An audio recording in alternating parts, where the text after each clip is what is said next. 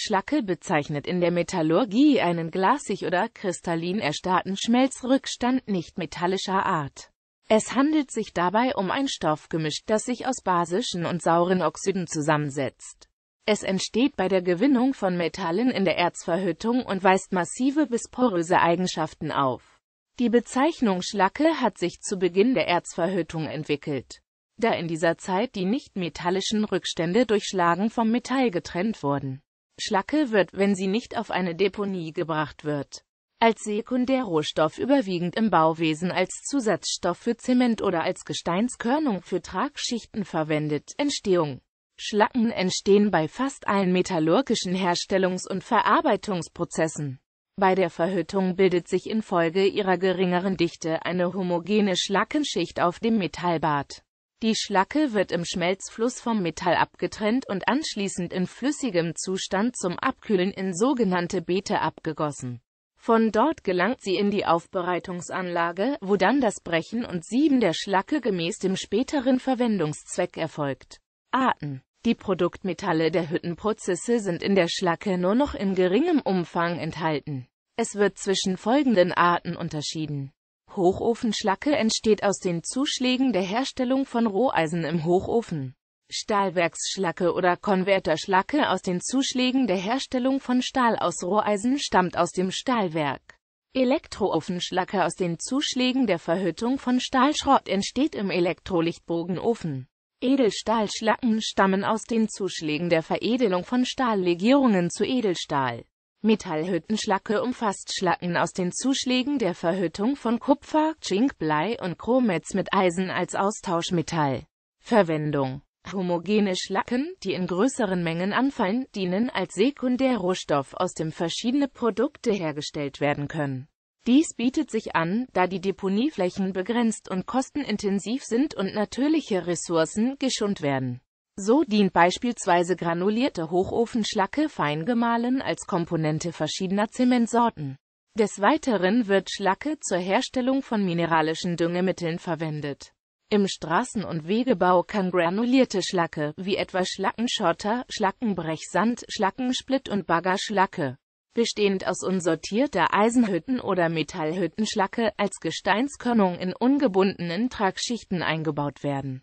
Im Pflasterbau lassen sich sogenannte Schlackensteine mit festen Steinformaten verwenden. Mit einer Dichte von bis ist massive Schlacke mindestens so schwer wie Granit. Schlacke, die beim Erstarren Luft eingeschlossen hat, ist jedoch wesentlich leichter. Bei älteren Häusern, die in der Nähe von Gusswerken gebaut wurden, kam Schlacke oft als Dämmmaterial zum Einsatz. Bei Renovierungsarbeiten kann diese in vielen Regionen als Bauschutt entsorgt werden. In der Industrie wird Schlacke auch als Eisensilikatgestein oder Eisensilikat bezeichnet und als Strahlmittel in der Strahltechnik verwendet. Bis zum Ende des 19. Jahrhunderts wurden in den heutigen Landkreisen Traunstein und Berchtesgadener Landhäuser aus Schlackensteinen erbaut. Da diese durch die enthaltenen Lufteinschlüsse eine ähnlich gute Wärmedämmung aufweisen wie die heute verwendeten Bauziegel und zudem sehr dekorativ wirken. Diese stammten aus dem Mitte des 20. Jahrhunderts stillgelegten Eisenerzbergwerk in Achtal bei Nukirchen und der Maximilianshütte in Bergen. Neben vielen Bauernhäusern existieren heute noch größere Gebäude aus Schlackenstein, wie zum Beispiel der Bahnhof Bergen OBB an der Eisenbahnstrecke München-Salzburg oder die 1912 stillgelegte Saline in Traunstein. Punkt, Punkt, Punkt, Ho- und LD-Schlacken. Im Stahlwerksprozess eines integrierten Hüttenwerkes fallen Hochofenschlacke und Stahlwerksschlacke an. Stahlwerksschlacken werden auch als LD-Schlacken bezeichnet, da sie aus der Schmelze des Linz-Donawitz-Stahlherstellungsprozesses gewonnen werden. Während die Schlacken aus den Hochofenprozessen heute zum großen Teil zur Hüttensand granuliert werden, werden LD-Schlacken zu diversen Produkten weiterverarbeitet. Je nach Kalkgehalt der LD-Schlacken sind diese als Straßenbaustoffe geeignet oder können zu Düngern verarbeitet werden. Im Herbst 2012 präsentierte der österreichische Umweltdachverband jedoch eine Studie, die der Schlacke eine Gesundheitsgefährdung nahelegt. Wird diese Studie anerkannt, darf Schlacke nicht mehr weiter verarbeitet werden und wird deponiepflichtig.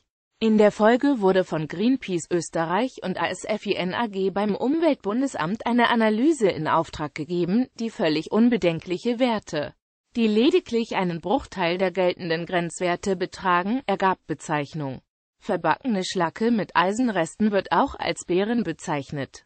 Eine wichtige Kenngröße bei metallurgischen Schlacken ist die sogenannte Basizität. Demnach kann man die Schlacken in saure oder basische Schlacken einteilen. Umweltschutz. Schlacken enthalten Schwermetalle in unterschiedlichen Konzentrationen. Das Umweltverhalten von Schlacken muss daher vor einer Weiterverwendung als unbedenklich eingestuft werden und wird zu diesem Zweck mit Hilfe von Eloa-Tests auf seine Auslaugbarkeit hin untersucht.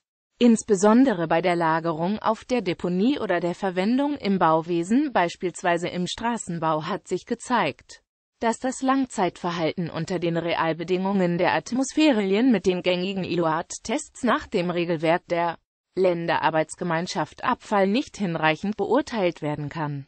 Auf Schlacke-Deponien kommt es häufig zu erheblichen Erhitzungen durch chemische Reaktionen und im Straßenunterbau zu Auslaugungen durch Korrosion und andere Verwitterungserscheinungen, die zur Schadstoffbelastung des Grundwassers führen können. Aus diesem Grund ist die Verwendung von Schlacke als Baustoff in Trinkwasserschutzzone nie und zwei nicht zulässig. Normen und Standards DIN 4301 Eisenhüttenschlacke und Metallhüttenschlacke im Bauwesen. Merkblatt über die Verwendung von Eisenhüttenschlacken im Straßenbau. Merkblatt über die Verwendung von Metallhüttenschlacken im Straßenbau. Merkblatt über die Verwendung von Hüttensand in Frostschutz und Schottertragschichten. Merkblatt über die Verwendung von Hüttenmineralstoffgemischen, sekundärmetallurgischen Schlacken sowie Edelstahlschlacken im Straßenbau